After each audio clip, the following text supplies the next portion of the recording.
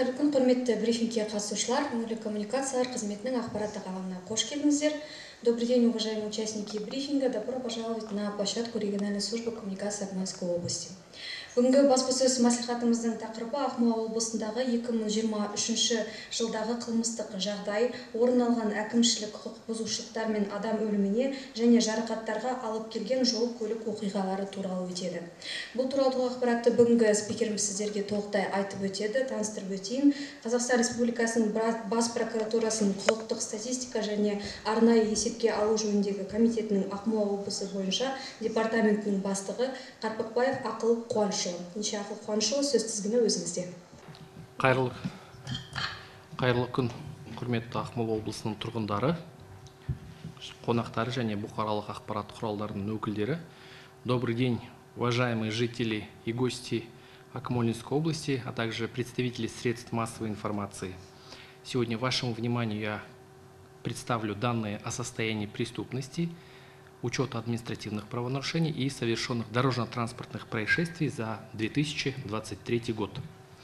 Согласно концепции правовой политики Республики Казахстан, до 2030 года, утвержденной указом президента от 15 октября 2021 года, неизменным ключевым критерием эффективности деятельности правоохранительных органов и их сотрудников является степень доверия населения – для постоянного непрерывного повышения указанного критерия необходимо продолжить трансформацию их деятельности со смещением акцента с борьбы с последствиями и достижениями ведомственных показателей на профилактику правонарушений.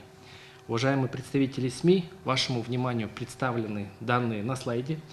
Здесь наглядно вы видите, что по уровню преступности на 10 тысяч населения наша область занимает 11 место – в целом за 12 месяцев 2023 года у нас наблюдается снижение преступности на 4,4%.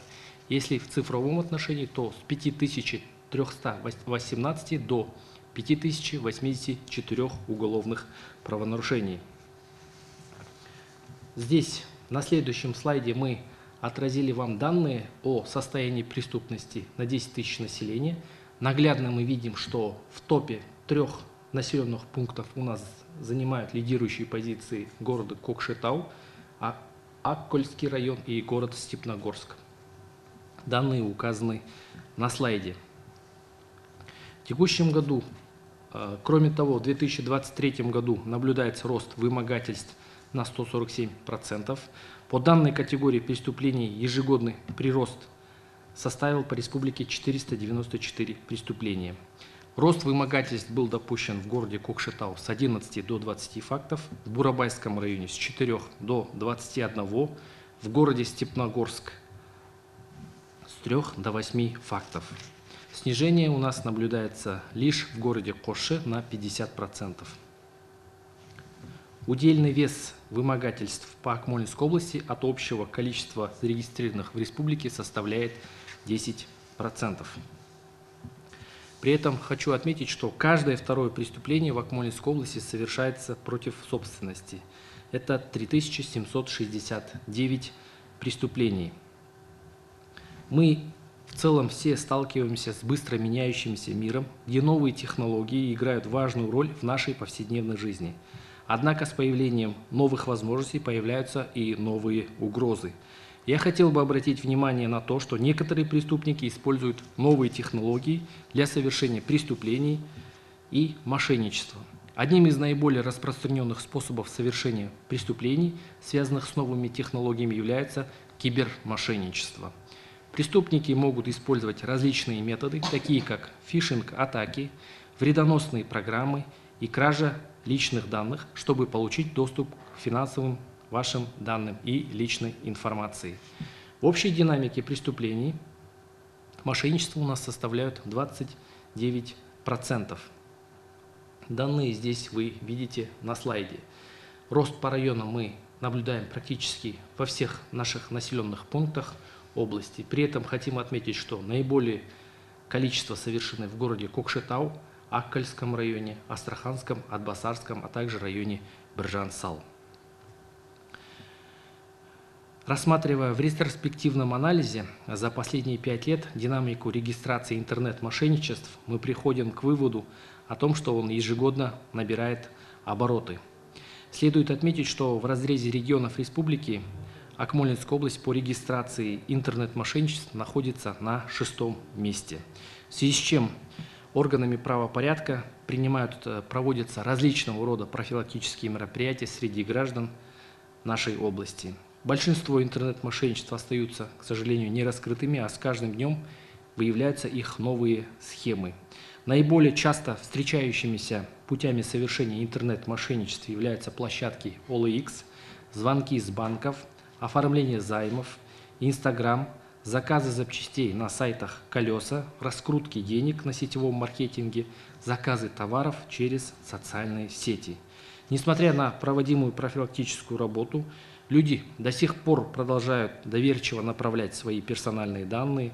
Это, как правило, документы, удостоверяющие личность и банковские данные, а также денежные средства, в результате чего поступают на руки злоумышленникам. В целях снижения интернет-мошенничеств необходимо проявлять бдительность при совершении сделок, в том числе на различных интернет-площадках. Чтобы защитить себя от такого рода угроз, рекомендуется использовать надежные пароли для своих онлайн-аккаунтов, быть осторожными при открытии подозрительных ссылок и вложений в электронных сообщениях, а также обновлять программное обеспечение на своих устройствах. На втором месте мы наблюдаем преступления против личности. Их количество составило 293. Оставшая часть зарегистрированных преступлений приходится на уголовные правонарушения против населения и нравственности, а также транспортные преступления и преступления против прав и свобод человека. Также стоит обратить внимание на стремительный рост по категории против семьи и несовершеннолетних. Таких у нас зарегистрировано 34 уголовных правонарушения – это по статье 139 Уголовного кодекса. В целом мы на регулярной основе проводим анализ по имеющимся у нас данным. Вот вы на слайде видите, что преступления, совершенные против половой неприкосновенности, мы проанализировали.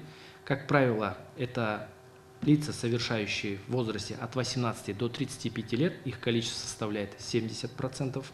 Другая категория населения – это лица, которые не имеют постоянного заработка, либо безработная категория, их количество составляет 90%.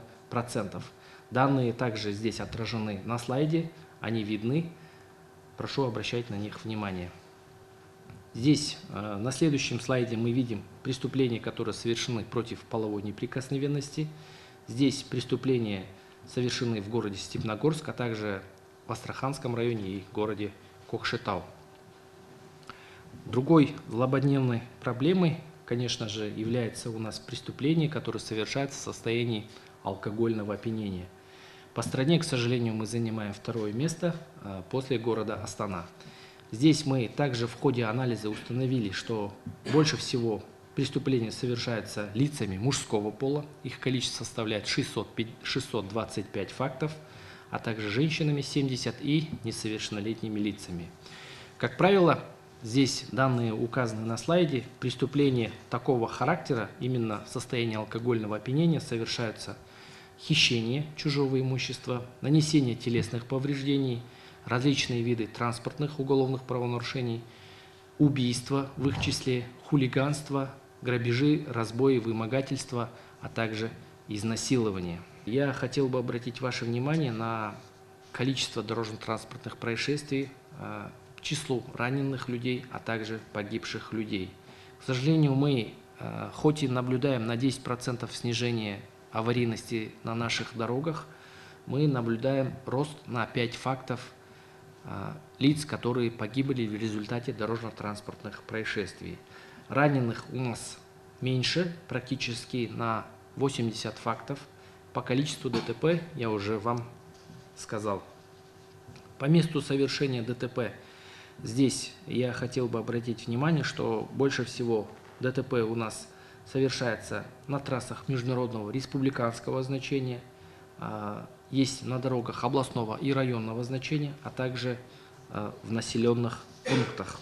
по месту совершения ДТП 286 вот фактов совершены в населенных пунктах, 223 зарегистрированы на трассах международного республиканского значения, 78 на дорогах областного и районного значения. 274 ДТП произошли из-за столкновения между транспортными средствами, 139 фактов это в результате наездов на пешеходов и 99 имели место опрокидывания. По погодным условиям 493 ДТП совершены в ясную погоду, 36 в снежную, 27 в пасмурную и 28 в дождливую погоду. По освещенности в днем произошло 361 ДТП, сумерках 132 и ночью 94 факта. Как мы провели анализ и установили, что наиболее аварийными днями у нас в неделе являются пятница. В этот день было совершено 99 ДТП от общего количества зарегистрированных. В них погибло 23 лица и 143 лица получили различного рода травмы. Большинство ДТП, конечно, безусловно, по вине водителей, которые грубо нарушают правила дорожного движения. По их вине произошло 549 ДТП или 93%. Пешеходы стали виновниками в 24 случаях или 4% от общего количества ДТП. В конце своего выступления я хотел бы э, вниманию всех присутствующих обратить на то, что все аварийные, а также криминогенные участки любой гражданин нашей страны может увидеть на нашем официальном сайте kamkor.gov.kz и, соответственно, э, там эту ситуацию все видеть.